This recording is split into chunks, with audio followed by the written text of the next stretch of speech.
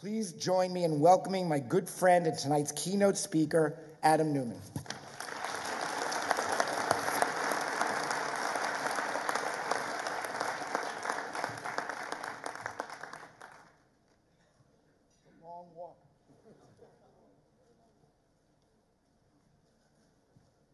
Here, let me save you the trouble.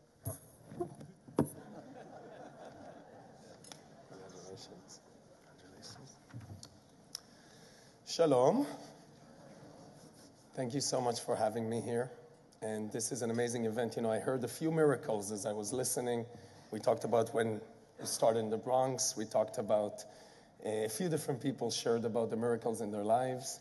We're right after the eighth day of Hanukkah, which is the holiday of miracles. And my favorite study of Hanukkah in life, it's not about being afraid of our shortcomings. It's about having the courage to fully live and be the full light that we can be. It's very scary to be all that you can be. And if each one of us actually allowed ourselves to be our fullest, there would be no stopping us. There would be peace on the world, and Mashiach would be here. And with that, thank you. With that, thank you, Lloyd. An I've been having a great time getting to know you, and we've been having so much fun. You can ask Lloyd any question. We were having dinner, and I said, Lloyd, you have so much knowledge. Lloyd said, Ask me anything. I said, Spanish Inquisition, go. And you said so many names and so many things I didn't even know existed. It was amazing. Amazing. I'm not even going to try. You know already so much. I gave up before starting.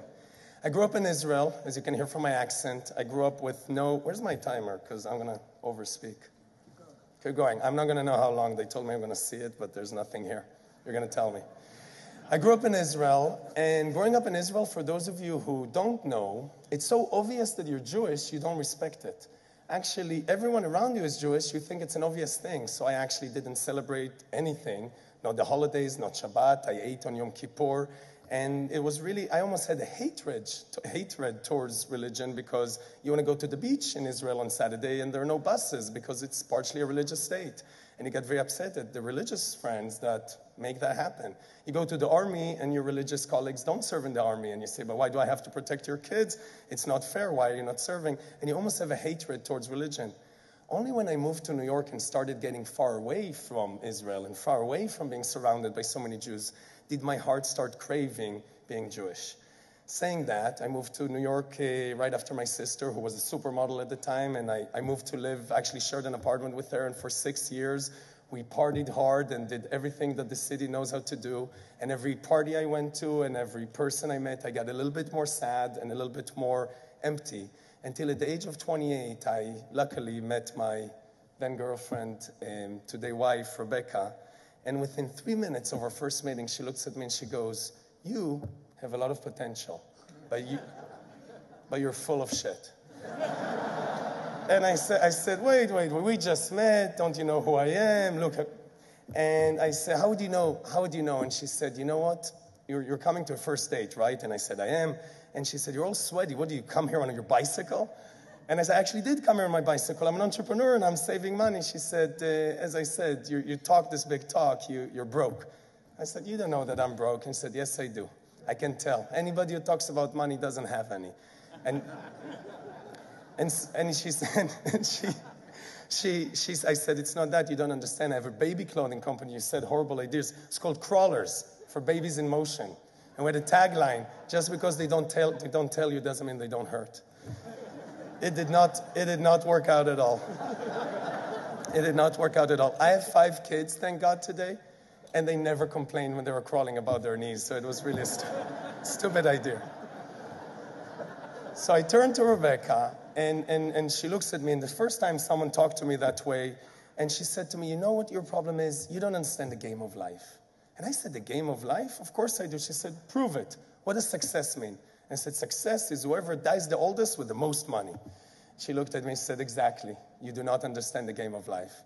And I was so intrigued. I said, Well, why don't you tell me what success means? She said, Success is the person who at their 80s is surrounded by the most loved ones, the most family members, has created the most impact on this planet, has connected to something greater than themselves, and don't forget, had a great time doing it. I was so blown away by that that I immediately did two things. One, I proposed within 30 days, even though we just met, and that was the best decision I made in my life. And two, I decided that I'm going to explore this uh, spiritual practice called the game of life. And as I started exploring it, as I learned more and more, I, uh, I started getting closer to my Judaism. And Rebecca and I learned very quickly that we have a lineage and a heritage that's ours. And even though there are many different practices on this planet and we do not discriminate between any of them, for us, being Jewish was the one that we connected to. And as we started and we had our first child and we also started the business together, and as WeWork was growing and growing, and we were taking more and more of the concepts of our spiritual studies and inputting them into the business, things worked better and better. Until one day, I think it was somewhere around the $5 billion valuation. I was cutting, I was, that's when trouble starts. I was catching myself, um, I was catching myself not being able to control my ego. And how do you know when you can't control your ego? It's not the things you say, because we all learn how to keep quiet. It's the things you think. And when you start looking at people and you're judging them, and to judge another person, you have to think you're better. And the moment you think you're better than another person, you can't help anyone because no one wants to take advice from someone who comes from above. You want to take advice from someone who goes eye to eye or maybe below, but definitely not from above. And as I could tell that I can't control my thoughts anymore, I realized I need a new practice. I need something even bigger. I went to my rabbi who's sitting there, Rabbi Heller. Hey, Rabbi Heller. And I said, Rabbi Heller, I need some help. I can't control my ego. I need, I need a tool. And Rabbi Heller said, You're not going to like my suggestion. I said, Please tell me. He said, You should keep Shabbat. I said, Rabbi Heller, everything I say, you think I should keep Shabbat. Of course, you're going to say I should keep Shabbat. He said, Adam, you asked me for a tool. I gave you a tool. You should keep Shabbat. So we believe in being students of life, for life. There's never a thing that I will not try at least one time in my life. I said, okay, I'll try Shabbat one time. It's not going to work, but I'll try it. And we do Shabbat together. I did it in Crown Heights. It was an unbelievable experience. For those of you who've never experienced Crown Heights on Shabbat, I recommend it warmly. And by the end of Shabbat, Rabbi Heller looked at me and he said, uh, You know, Adam, you did some real work this Shabbat. When your wife comes, she's going to look at you and she's going to say, I'm so impressed with you. I said, Rabbi Heller, until now, I really thought you knew everything, but my wife is never impressed with me. There's nothing I did that she's impressed with. She said, You're right, because all you did is material things. Now she'll be impressed with you. Rebecca walks in at the end of Shabbat. She comes to pick me up from uh, Crown Heights. And she looks at me and she goes, Wow, I'm so impressed with you. I looked at Rabbi. I said, Rabbi Hell, did you call her? He said, Yes, Adam, with my Shabbat phone. I called her. and, and the most amazing, amazing thing that happened to me is the next day I went to work, and then it, it was Sunday, and the next day, Monday, I went to work, and suddenly the thoughts weren't coming up. I was looking at everyone around me and I could tell that we were all equals and we're on this together. And God gives some of us more blessings than others. And you can never judge or measure where other people are at because you never know where someone is coming from and where they're going. And for the whole week, I was feeling really good until about Thursday when those thoughts started coming back again. And I was judging again and thinking this and thinking that. And said, wow, the Shabbat thing is amazing, but it only lasts for about five days. you gotta do it, you gotta do it again. And I, I went forward and I did, I did my next Shabbat that following Friday. And the most amazing thing is, in today's world, and it's never been more relevant than today, as technology takes over our lives, in average, a human being, we look at his phone 160 times a day. And I know, Anton, you guys invest in all of those businesses. I know it's good for business, but 160 times a day, that's once every six minutes. We're addicted to the phone when we're going to get to be 80 or 90 and we're going to think of our life, we're going to think that a third of it we were sleeping, and the other third we had a relationship with a machine. And that was not God's intention. That is not tikkun olam. And when you come to Shabbat and you disconnect from technology and you connect to your children and you connect to your wife or husband and you connect to your loved ones and your friends and you connect to something greater than yourself, you suddenly remember why we're here and what it is all about.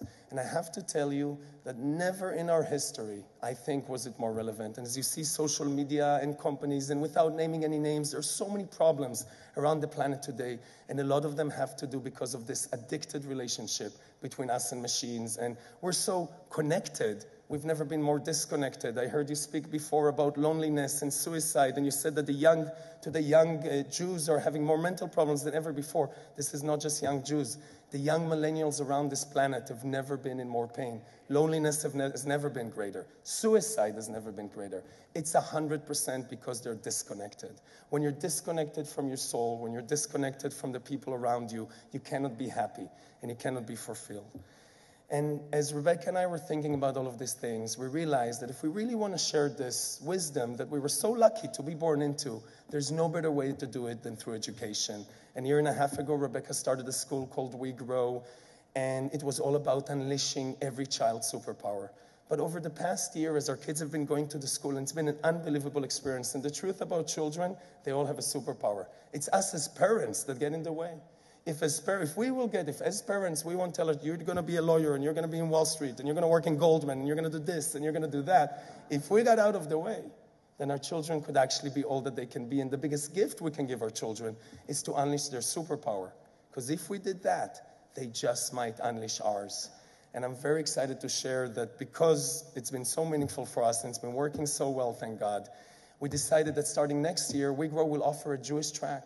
And the reason we want to offer a Jewish it's a big deal. It is a big deal. It is a big deal. And, and we live in a world that not everybody might accept that. And some say, Why are you doing that? And why are you forcing? And, and we're not forcing anything. We're offering it to anyone who wants to study, Jew or non Jew. But for us to enjoy our lineage, to enjoy our heritage, we couldn't be more proud than to be who we are. I don't believe that I could be standing here if I was born anywhere else or in any other way. I know as a fact that there's no other country except for actually this country where an Israeli kid can come and come up with an idea and meet an amazing wife and meet an amazing rabbi and gain a practice and gain a study, build a business, have a life that couldn't be imagined anywhere else on this planet.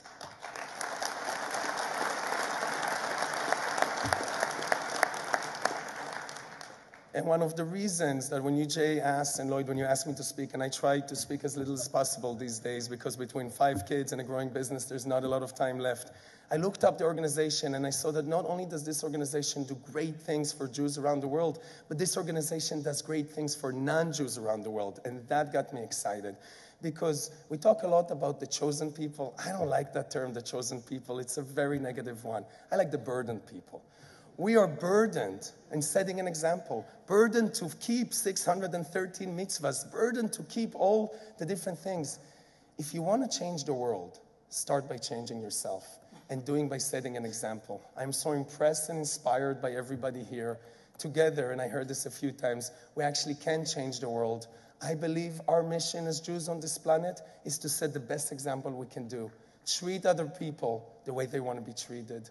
And as we build, we work, and we grow, and it's all about giving and sharing, take a moment, look around you.